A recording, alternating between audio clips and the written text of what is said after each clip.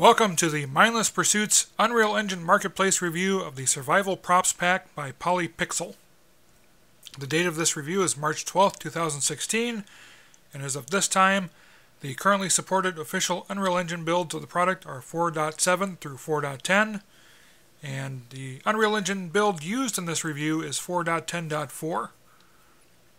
Now, I know there's going to be a lot of people who said, hey, you just did a PolyPixel review uh, yesterday, but it just happened to turn up this way. I did an environment. I want to do a props pack next. I was looking at stuff I had picked that was older.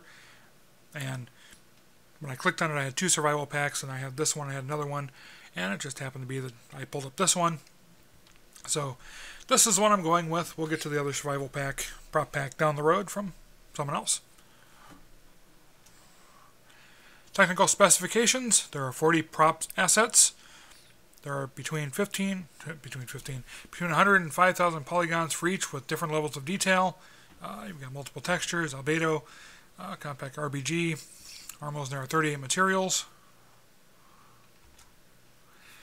The testing rig that you're going to see these on is my development box. You can see the specs here. The biggest thing for this is the quality of the textures and you know what everything looks like. So my video card is an NVIDIA GeForce GTX 980 Ti. That is uh, a hybrid water-cooled system. So here is the asset preview level that PolyPixel supplies. Now the camera moves very quick in this, so if it gets a little jerky, I apologize. So there's actually a lot more than just this, as you can see if you look down that way. Obviously this is not 40 assets, but they have them divided into categories. So this is survival. And we'll get in closer to some of these here so you can see. Uh, rocks, lighters, lanterns, flashlights. And as I'll show you in the comments on the Unreal Engine page for the product, they actually provide a link to an emissive texture that you can use for lighting and uh, instructions on how to use it from Unreal can. Of course, you've got the rolled up tent. You've got a health kit. Nice looking campfire. And you've got the tent. That's all in the survival category. And then they have a crafting category. So you've got feather and stack of metal, stack of wood, different cloths, paper. In here so you can see the, the detail.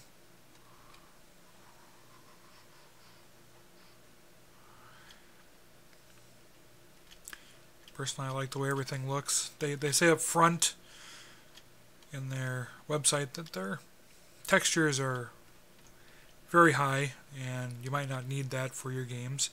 Of course, I'm running on a very high-end system and so I like that because I can see all sorts of fine detail. Here's our whoops. Here's our food category. But it's nice to have the option to scale these down and make them work. Now, my only complaint here is that egg, which you want to get in fairly close to it. Uh, still pretty polygonal, but it's not a huge deal. Um, I'd much rather have a slightly poly polygonal egg than one that's going to take up a lot of resources for no good reason. Let's get in close to these again. So you've got a canteen. Well-worn canteen. Nice pan here propane cylinder, medicine bottle, water bottle,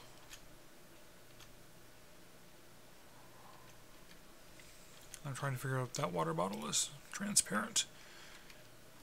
At least in this demo it's not transparent. You've got a camp stove. And then for the final category you've got melee and harvesting. So you've got knives and an iron pipe, hatchet, an axe, shovel,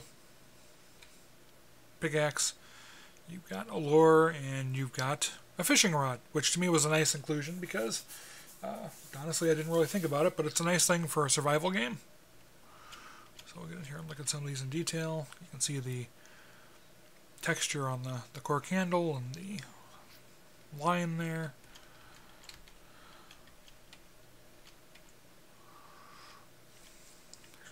Now I'm not certain what sort of blocking volume they've got set up in this particular section, but the objects themselves don't come with collisions. That's one of the things that they tell you. And the reasoning for that is pretty simple, and I understand it, which is people tend to change the collisions anyway to fit the what's appropriate for their particular game. So it's just added work to strip off other people's collisions and add new ones on. Plus, there are some things where you probably want more than just a box texture, and there are some places where a box texture or a cylinder or something is going to be perfectly appropriate. So that's it. There's not really a lot to show in a prop pack. Everything looks good. Um, I'm very impressed with the quality. I like everything they did. If I had any complaints, it would be that there are no related animations for things. So, for instance, the lighter doesn't have an animation for opening and closing it.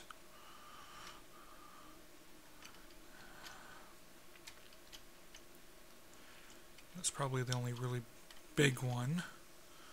Uh, I would like it if they actually had labels that you could modify for the tin can, but that's not the end of the world, certainly. If you want that, you can always make a texture yourself that, that does that or modify their texture. And it might be nice if they had a version of the shovel that was actually folded. Uh, so you could fold it and unfold it the way it, it would work. And maybe it does, maybe it's two pieces. Let's look at that quick.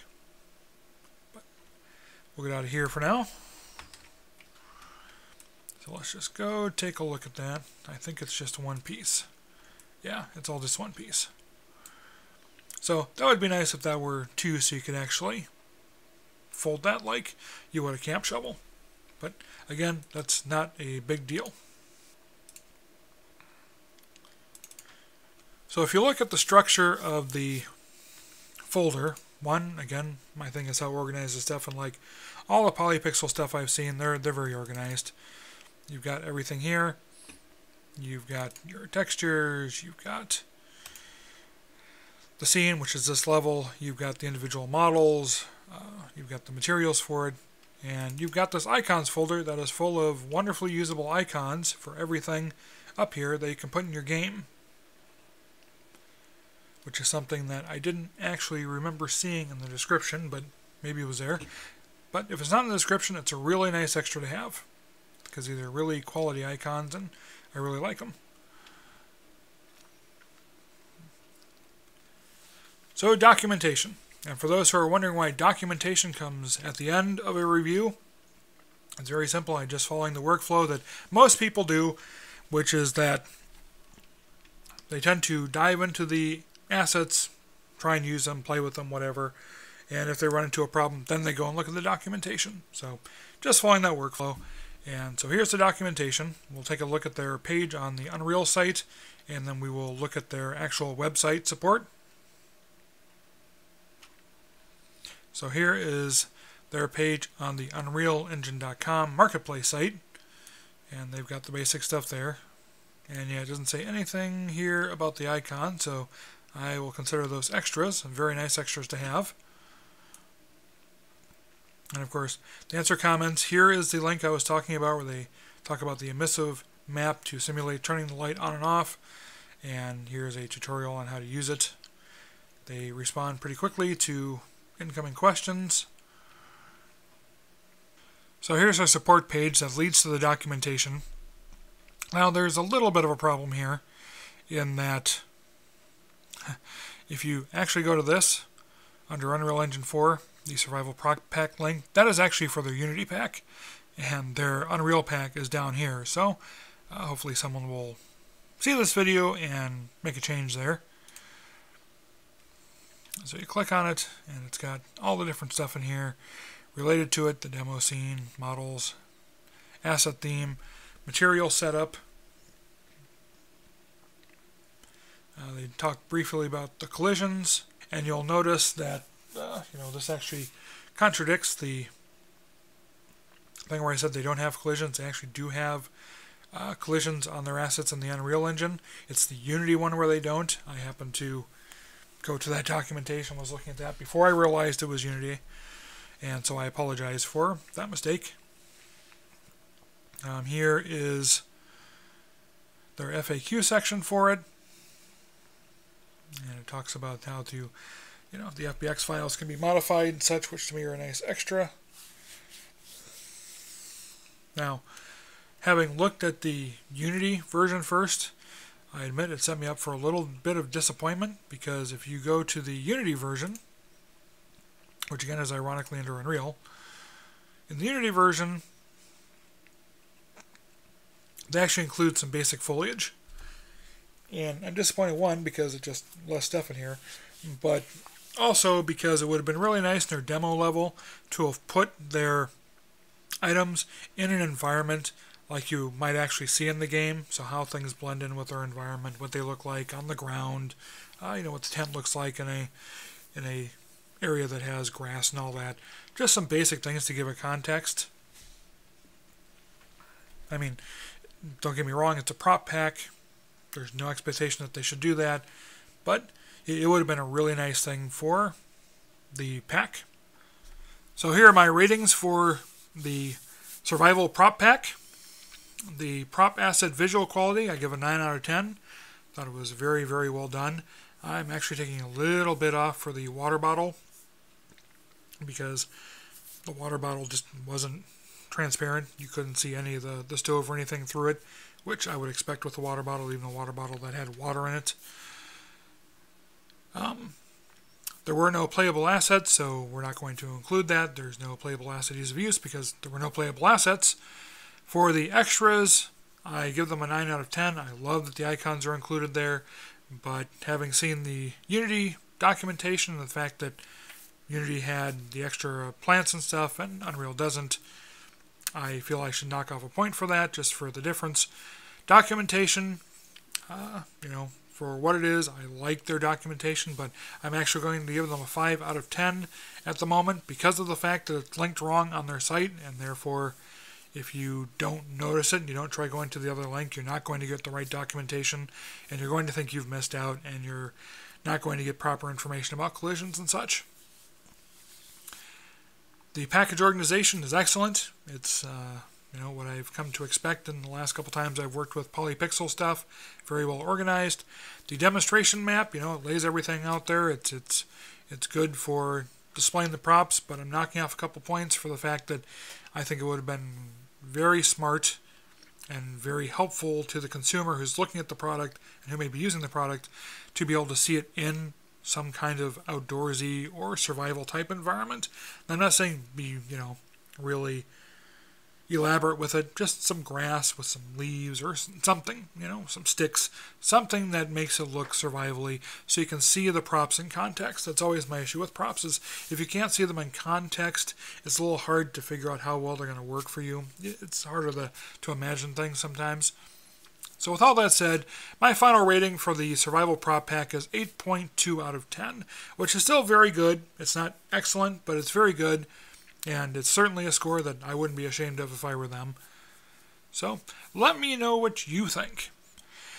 So, for more information, if you want more information on PolyPixel, you can go to their website. If you want more information on Mindless Pursuits, you can go to any of these links. If you liked this review, please click the like button. If you would like to see more reviews as they come out, if you have an interest in game tutorials, uh, things like that, please consider subscribing and sharing this channel with your friends who might be interested in game development. And as always, I want to thank you for all of your interest and support. Take care.